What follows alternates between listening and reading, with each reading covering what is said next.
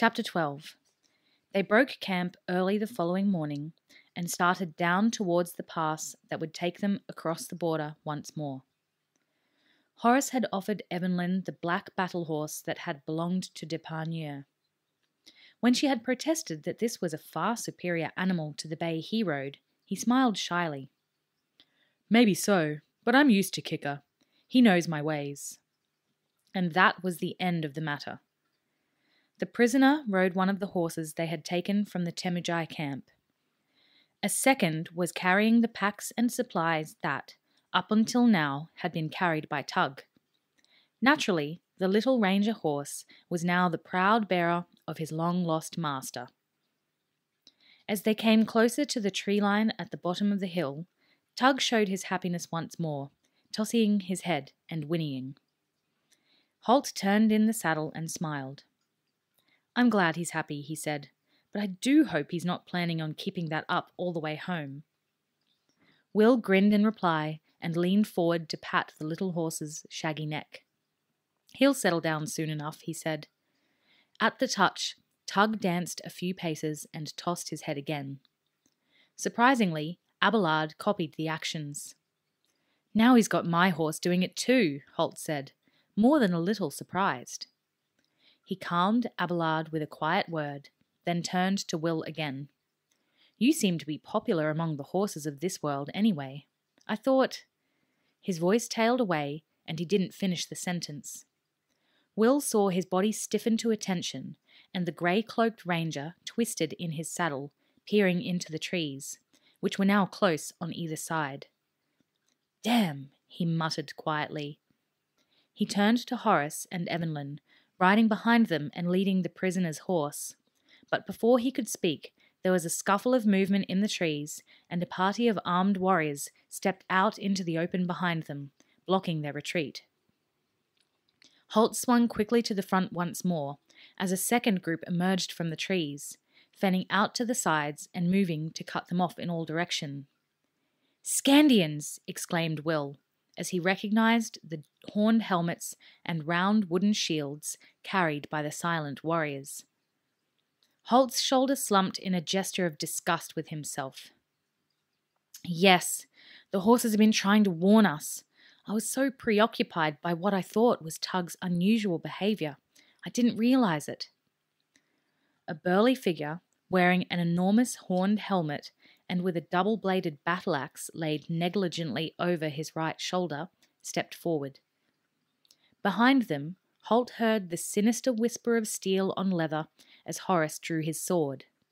Without turning, he said, Put it away, Horace. I think there are too many of them, even for you.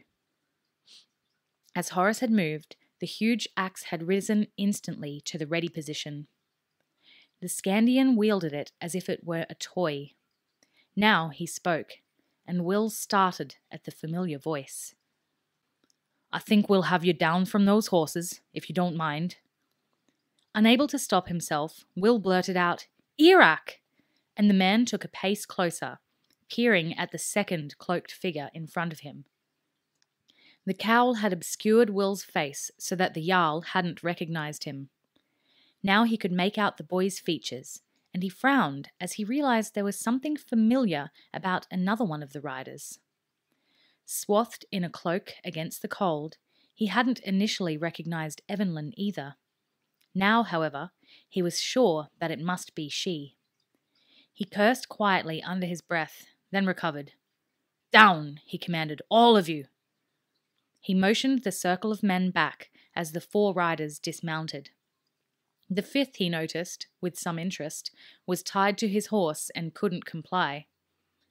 He gestured for two of his men to get the prisoner down from his saddle. Halt threw back the hood on his cloak and Erak studied the grim, bearded face. Now that he was dismounted, the man looked surprisingly small, particularly measured against Erak's own burly form. Will went to throw back his own cowl, but Erak stopped him with a hand gesture. Leave it for the moment, he said in a lowered voice. He didn't know how many of his men might recognize the former slave who had escaped from Hallasholm months ago, but for now Something told him that the fewer who made the connection, the better it would be. He looked warningly at Evanlyn. You too, he ordered, and she inclined her head in agreement. Erak turned his gaze back to Halt. I've seen you before, he said. Halt nodded. If you're Jarl Erak, we saw each other briefly on the beach by the fens, he said, and recognition dawned in the Jarl's eyes. It wasn't the man's face that had struck a chord of memory, rather his bearing, the way he held himself, and the massive longbow that he carried still. Halt continued. There was quite a distance between us, as I recall. Erak grunted. I seem to remember that we were well within bowshot, he said, and Halt nodded, acknowledging the point. The Skandian's face darkened with anger as he looked once more at the bow and the quiver of arrows slung at Halt's belt. And now you've been up to the same foul business, he said, although what these two have to do with it is beyond me. The last he added in a puzzled tone, jerking a thumb at Will and Evanlyn. Now it was Halt's turn to look puzzled. What foul business? Erak gave a disgusted snort. Huh! I've seen you with that ball, remember? I know what you can do, and I've just seen more of your handiwork at Serpent's Pass. Understanding dawned on Halt. He remembered the forlorn sight of the bodies at the small fort on the border. That must be the pass this Skandian was referring to. Since the garrison had been killed by archers, and Erak knew Halt's skill with a bow, he had jumped to a rapid, if not too logical, conclusion. Not our work, he said, shaking his head. Erak stepped closer to him. No, I saw them there, all shot, and we followed your tracks from there. So you may have, Halt said calmly. But if you're any sort of tracker, you'd know that there were only two of us. We found the garrison at the pass dead, and we followed the tracks of a larger party, the ones who killed them. Erak hesitated. He wasn't a tracker, he was a sea captain. But one of the men who had come with him was an occasional hunter. While he didn't have the uncanny skills that the Rangers had developed in interpreting tracks, Erak now remembered that his man had said something about the possibility of there being two groups. Then, he said, bewildered by this turn of events. If you didn't do it, who did? Halt jerked a thumb at the bound prisoner. Him and his friends, he said. He was in a Temujai scouting party we ran into yesterday. There was a larger band who attacked the border garrison. Then six of them came on into Skandia. Temujai, you say? Erak asked him. He knew of the warlike people from the east, of course, but it had been decades since they had come this way in any numbers. We killed a couple of them, Halt said. Two got away, and we captured this one. Erak stepped to where the prisoner stood, hands tied in front of him, glaring fiercely at the big northerners who surrounded him. He studied the flat featured, brown skinned face and the furs the man wore. He's a Temuj, all right. But what were they doing down here? he asked, almost to himself. That's the question I was asking, Halt replied. Erak glanced at him with a flash of anger. He hated being confused. He preferred a simple, straightforward problem, the kind he could solve with his broad axe. For that matter, he snapped, what are you doing here? Halt faced him evenly, uncowed by the anger in the other man's tone. I came for the boy, he said quietly.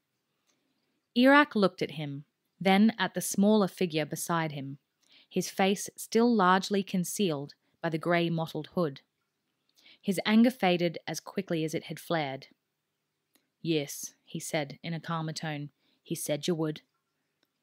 Like most Skandians, Erak valued loyalty and courage. Another thought struck him, something he'd wondered about for some time. At the beach, he said. How did you know to find us there?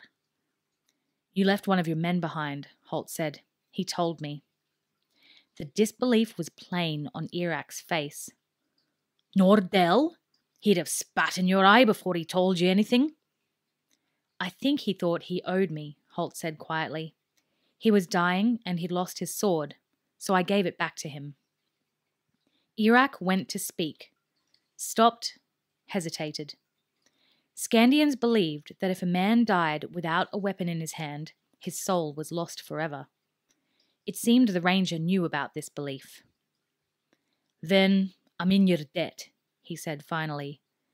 Then, after another pause, I'm not sure how this affects this current situation, however. He rubbed his beard thoughtfully, looking at the fierce little Temujai warrior, for all the world like a tethered hawk. I'd still like to know what this lad and his bunch are up to. That's what I had in mind, Halt told him. I was planning to get my companions here across the border into Teutland. Then I thought I might come back with our friend here and find the rest of the Temujai and see how many of them there are. Erak snorted. Huh, you think he'll tell you? he asked. I don't know too much about the Temujai, but I know this much. You can torture them to death, and they'll never tell you anything, not if they don't want to. Yes, I've heard that too, Halt said. But there might be a way. Oh, might there? the Jarl asked scornfully. And what might that way be? Halt glanced at the horse warrior. He was following their discussion with some interest. Halt knew he spoke the trading language, but he had no idea how much of the common tongue he might understand. As a member of a scouting party, it was probable that he had some command of the language. He took the Jarl's arm and led him a few paces away, out of earshot. I rather thought I might let him escape, he said mildly.